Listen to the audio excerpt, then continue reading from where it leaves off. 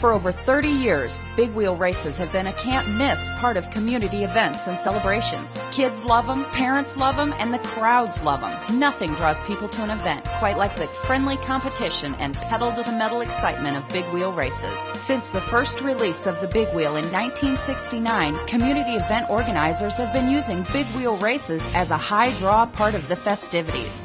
And now the one, the only, the original Big Wheel is back and it's ready to play a starring role in your event.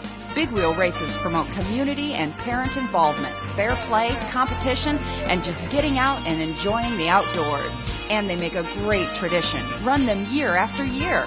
Ever seen the sparkle in a kid's eye who has just streaked across the finish line and won a trophy? It's unforgettable. For your next community event, get things rolling like never before with official Big Wheel races. And see for yourself, it really is a big deal to have a big wheel.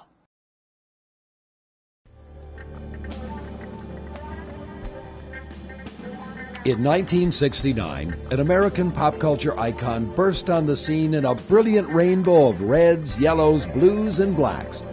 It was destined to be a mega hit one of those unique toys that captured the imagination and thrilled an entire generation of kids. Now, it's back. The original 16 inch big wheel, ready to ride away with the hearts and minds of a whole new generation.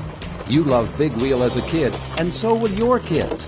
Even the sound of Big Wheel is unique. The way that, that you could hear the sand underneath the wheels as they kept going along with their little feet and driving along. I remember the day that my dad brought my Big Wheel home to me, and 1976, and I thought he was the greatest person in the world.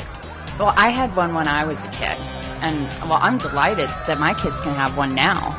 The one, the only, the original Big Wheel is back, and it's coming to sidewalks near you soon.